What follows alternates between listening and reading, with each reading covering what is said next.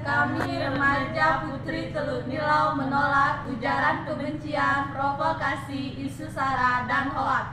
Kami Indonesia dan kami Pancasila, damai Indonesiaku.